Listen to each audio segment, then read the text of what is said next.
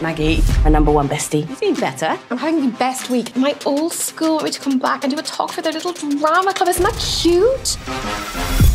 These are teenagers. They'll find your Instagram and make fun of your selfies.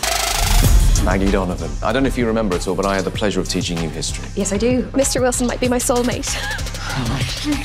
Come on, guys. Oh my god. I'm his wife! Can you please tell your kids to stop filming me? I think they're gonna put it on TikTok.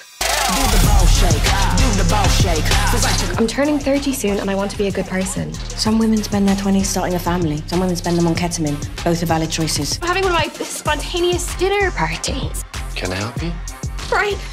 Who's Brian, Maggie? We have been chatting on Tinder for how long has it been? An hour. What about you? What have you been up to? Nothing. I've done some awful things, but I've changed. Oh my god, you shagged Jonah. What? Eddie. Why did you do that? You need monitoring. Are you manic?